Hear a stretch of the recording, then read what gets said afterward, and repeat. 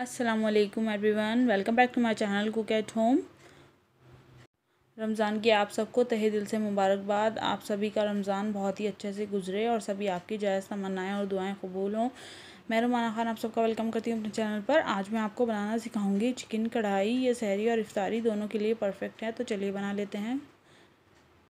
तो दोस्तों, ये चिकन कढ़ाई या कढ़ाई चिकन जो भी कह लें आप, बहुत ही झटपट बनकर तैयार हो जाता है। सबसे पहले यहाँ पर मैंने लिया है भुना कुटा ज़ीरा, भुना कुटा धनिया और दो साबुत लाल मिर्चें। इनको मैंने एक साथ ग्राइंड कर लिया है। वन वन टीस्पून भुना कुटा ज़ीरा और धनिया है और दो साबुत लाल मिर्चें हैं। हाफ़ टी स्पून मैंने लिया है गरम मसाला, वन टीस्पून लिया है kasuri methi, one four teaspoon लिया है मैंने चाट का मसाला, वन टेबल स्पून लिया है कश्मीरी लाल मिर्च, half teaspoon red chilli powder half teaspoon turmeric और one tablespoon meat masala. साथ ही साथ मैंने यहाँ पर लिया है तीन टमाटर। इनको मैंने डाइस कर लिया है ऐसे और ये जूलियंस में कटा हुआ अदरक, दो हरी मिर्चें मैंने बारीक काट लिया, दो में चीरा लगा दिया है। यहाँ पर लिया है मैंने एक कप दही तीन टेबल स्पून मैंने लिया है जिंजर गार्लिक पेस्ट और ये चार पाँच कलियाँ लहसुन की और थोड़ा सा अदरक मैंने यहाँ पर इसको कूट लिया है। ग्रेटेड अदरक बहुत अच्छा लगता है ये और यहाँ पर मैंने लिया है आधा किलो चिकन और इसको आपको अच्छे से वॉश कर लेना है। सबसे पहले आप कोई भी कढ़ाई या फिर वोक ले लें जिसमें भी आप बनाना चाहते हैं और उसके अंदर ऐड करें five tablespoon of oil और अब हम इसके अंदर ऐड कर देंगे चिकन ये मैंने यहाँ पर चिकन को धोकर रखा हुआ था। तो ये देखें, इसका सारा पानी जो है निकल चुका है और फिर हम इसके अंदर ऐड करेंगे और अब मैं इसके अंदर चम्मच चलाऊँगी और इसको भूनेंगे जब तक कि इसका कलर चेंज नहीं हो जाता है।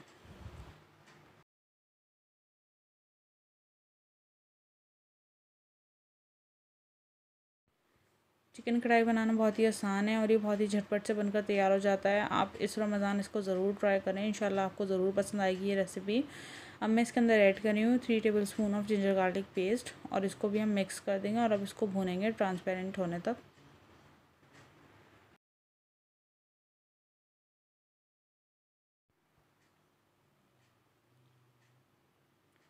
हाई फ्लेम पर ही भूनेंगे इसको हम।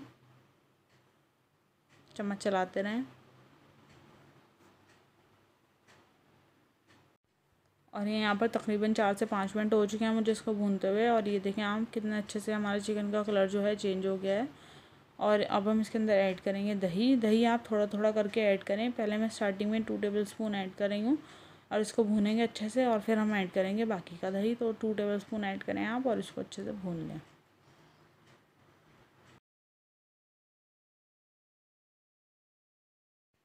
दोस्तों, मैंने इससे पहले भी पिछले साल भी रमज़ान की काफ़ी अच्छी अच्छी रमज़ान की ड्रिंक्स और काफ़ी रेसिपीज़ शेयर की हुई हैं। अगर आपने वो नहीं देखी हैं तो ज़रूर देखिएगा मैं उनका लिंक आपको डिस्क्रिप्शन बॉक्स में दे दूँगी या फिर आप कमेंट सेक्शन में भी देख सकते हैं। उसका लिंक जाकर मैं वहाँ पर भी दे दूँगी। तो ये देखें, अच्छे से भूनेंगे इसको।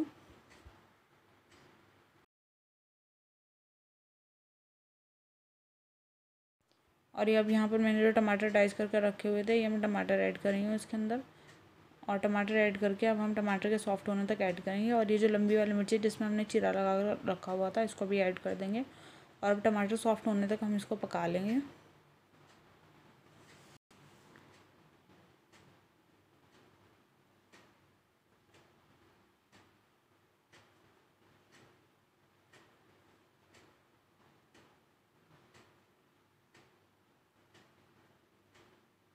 ढक देंगे अब हम इसको और ढककर टमाटर के पानी में ये सॉफ्ट हो जाएँगे टमाटर।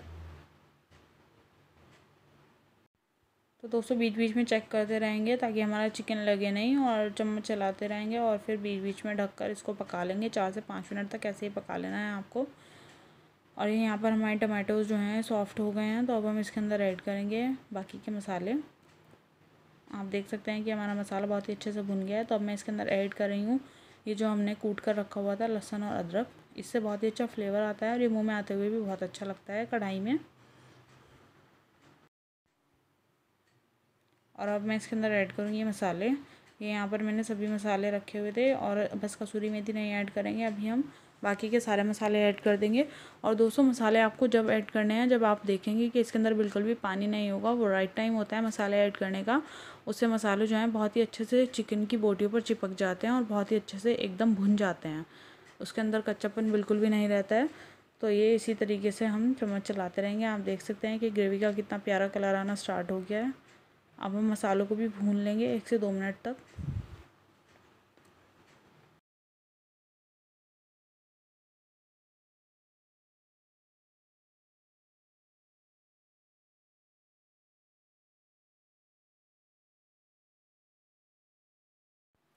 तो यहाँ पर मैं ऐड कर रही हूँ नमक, मैं हाफ़ टी स्पून ऐड कर रही हूँ। आप अपने टेस्ट के अकॉर्डिंग ऐड कर सकते हैं। दोस्तों फ्लेम आपको हाई रखनी है क्योंकि चिकन बहुत ही जल्दी गल जाता है। और अब मैं इसके अंदर ऐड करूँगी बाकी के बचा हुआ दही। ये मैं दो बारी में ऐड कर रही हूँ। अभी मैं तीन टेबल स्पून ऐड करूँगी और बाकी का बचा हुआ तीन टेबल स्पून बाद में ऐड करूँगी। दोस्तों, दही आप अपनी ग्रेवी के हिसाब से ऐड कर सकते हैं। अगर आपको बिल्कुल भुना भुना बनाना है तो आप फोर टेबल स्पून दही ऐड करें। अगर आपको थोड़ी मीडियम ग्रेवी चाहिए, जैसे कि मैं बना रही हूँ तो आप एक कप ऐड कर सकती हैं और अगर आपको ज़्यादा ग्रेवी पसंद है तो आप वन एंड हाफ़ कप तक भी इसको ऐड कर सकते हैं। ये बहुत ही जल्दी और झटपट बनने वाली रेसिपी है, बहुत ही जल्दी बनकर तैयार हो जाती है तो आप इस रमज़ान करीम में ज़रूर ट्राई करें, ये आपको इंशाल्लाह ज़रूर पसंद आएगी। तो ये देखें, बाकी का दही ऐड कर कर भी हम इसको अच्छे से भून लेंगे। और ये तकरीबन तैयार है हमारी चिकन कढ़ाई।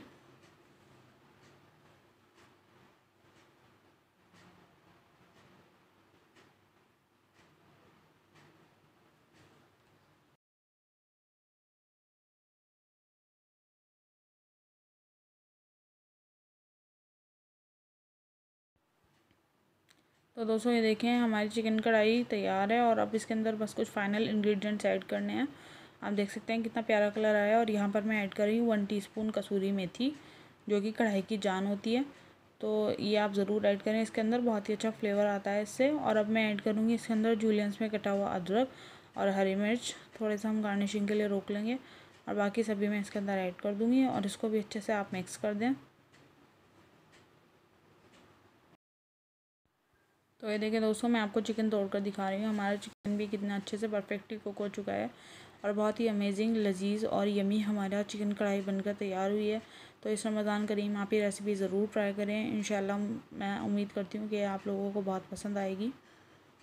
इसी तरह मेरे चैनल को अपना प्यार और सपोर्ट दें और अगर आपको मेरी वीडियो पसंद आई है तो मेरे चैनल को लाइक शेयर और सब्सक्राइब ज़रूर करें।